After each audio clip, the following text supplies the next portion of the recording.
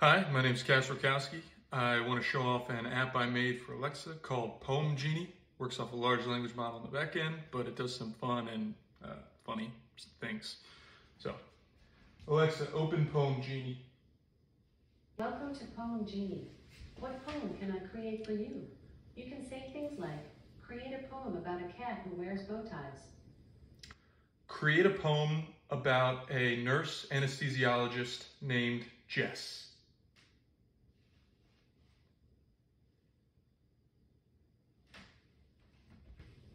Jess the nurse anesthesiologist, doing her work with elation, helping in surgery with precision, adding her skill to the operation, providing her patient sedation with a care that creates admiration. Jess can be counted on in any situation. Her expertise is a great sensation. That was really good.